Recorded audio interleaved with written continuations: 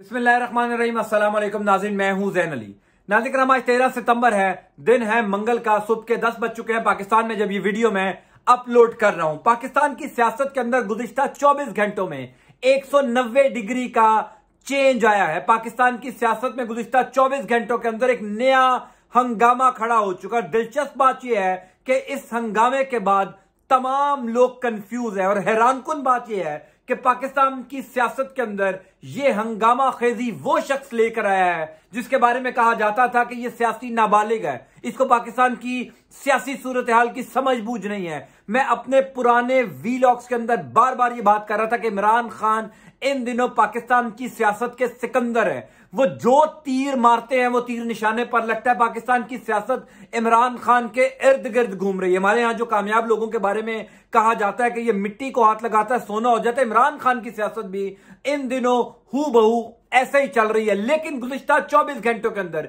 इमरान खान ने एक ऐसी चाल चली है जो माजी की तमाम चालों के ऊपर भारी है। यानी इमरान खान को इकतदार से हटे हुए तकरीबन छह महीने हो चुके हैं। इन छह महीनों के अंदर इमरान खान ने कल रात को जो काम किया है, उसने पाकिस्तान की सियासत के अंदर एक भोंचाल पैदा कर दिया है। इवान वज़ीर आज़म भी कंफ्यूज है। शहर इकतदार यानी जुड़वा शहर भी कंफ्यूज है, जाति उमरा के अंदर भी कंफ्यूजन है, बिलावल हाउस कराची में भी कंफ्यूजन है, यानी हर शख्स कंफ्यूज है कि इमरान खान के इस पत्ते का जवाब क्या दिया जाए। इमरान खान के इस सरप्राइज़ का जवाब क्या दिया जाए? अब शहर इकतदार के अंदर बेशुमार खबरें गर्दिश कर रही हैं। खबरें गर्दिश कर रही हैं कि क्या इमरान खान और आर्मी चीफ जनरल बाजवा साहब के दरमियान सुलह हो चुकी है।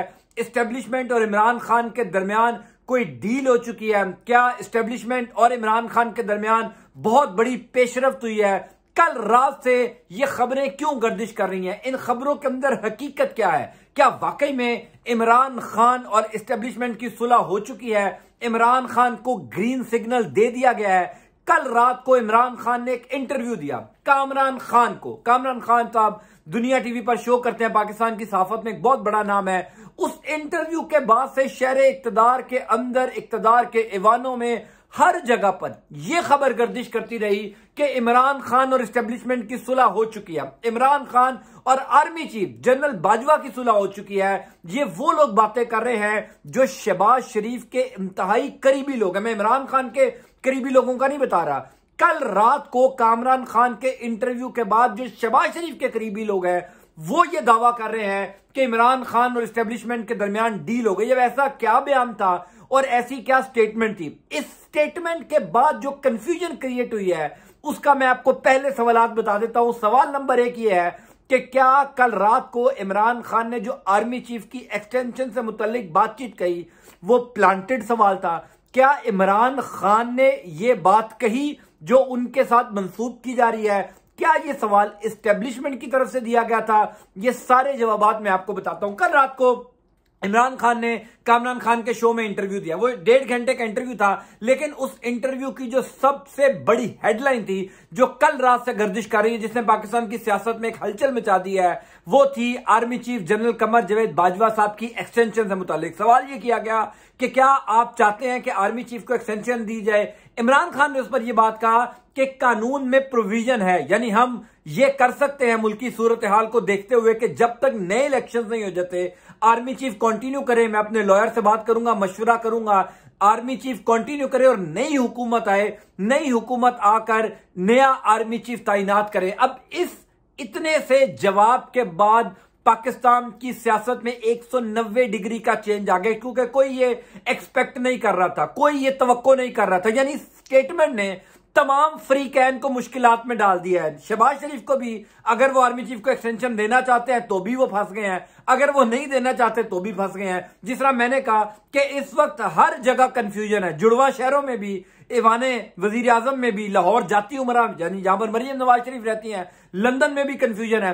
गरीदा फारूकी ने इस हवाले से क्या खबर दी? आप गरीदा फारूकी का ट्वीट देखिए, वैसे तो मैं इनको साफ़ ही नहीं मानता, लेकिन चूँकि ये शबाज शरीफ के बड़े करीब है, इस वजह से इनका ट्वीट जो मैं आपके साथ शेयर कर रहा हूँ। उसके बाद मैं आपको खबर दूँगा कि ये दरअसल में सवाल किसका था? ये अल्फाज किसके थे? जो कुछ कामरान खान साहब ने बोले और कुछ इमरान खान साहब ने बोले। आप गरीदा फारूकी का ट्वीट देखें। गरीदा फारूकी ये लिखती हैं, Imran Khan army chief general Qamar Javed Bajwa को दूसरी एक्सटेंशन देने के हामी बन गए। सीनियर सहाफी कामरान खान के साथ इंटरव्यू भी आज नशर होगा, रोका नहीं जा रहा।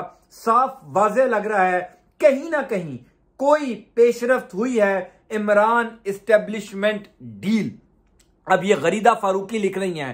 पहली बात तो यह है कि इमरान खान के नाम के साथ जो ये स्टेटमेंट मंसूब किया जा रहा है कि इमरान खान ने डायरेक्ट ये बात की है कि वो army chief general Qamar Javed Bajwa साहब की एक्सटेंशन चाहते हैं। इमरान खान ने ऐसी कोई बात नहीं की। आप वो इंटरव्यू पचास दफ़ा सुन लें। मैंने वो इंटरव्यू कोई दस दफ़ा सुना, इमरान खान ने यह बात नहीं की। लेकिन इमरान खान ने जो अल्फाज इस्तेमाल किए हैं, उसने बड़े लोगों को सोचने पर मजबूर कर दिया। यानी आज ये साबित हो चुका है कि इमरान खान खेल के मैदान के बादशाह थे। अब वो सियासत के मैदान के भी बादशाह हैं, क्योंकि जो चाल इमरान खान ने कल रात को चल दी है, जो इमरान खान ने पत्ता फेंक दिया है उसके बाद शहबाज शरीफ बहुत बुरे तरीके से फंस गए हैं और इसके असरात आपको आइंदा आने वाले एक दो हफ़्ते में नज़र आ जाएँगे, जो मैं ये बात कर रहा हूँ। चूँकि अब एक्सटेंशन देकर भी फंसा जाएगा एक्सटेंशन ना देकर भी फंसा जाएगा, पूरी स्टेब्लिशमेंट को इमरान खान ने कल मुख्तसर से इंटरव्यू में, इस मुख्तसर से जुमले में जवाब भी दे दिया कि इमरान खान क्या चाहते हैं। अब सवाल यह है कि अगर इमरान खान ने यह बात नहीं कही कि army chief general Qamar Javed Bajwa साहब को एक्सटेंशन हर सूरत में मिलनी चाहिए फिर ये सवाल या ये जवाब कहाँ से आया? सोशल मीडिया पर इसकी इतनी गर्दिश क्यों कर रही है? ये खबर इतना ववेला क्यों मचाया जा रहा है? इसमें दो एस्पेक्ट है। पहला एस्पेक्ट ये है कि army chief general Qamar Javed Bajwa साहब की जो एक्सटेंशन है, पहले फैसलाबाद के जलसे में इमरान खान साहब ने ये बात कही कि आर्मी चीफ की तैनाती मेरिट पर होनी चाहिए। उसके ऊपर उन पर जो है वो काफ़ी सवाल उठे। आई एस की जानब से जवाब भी आया।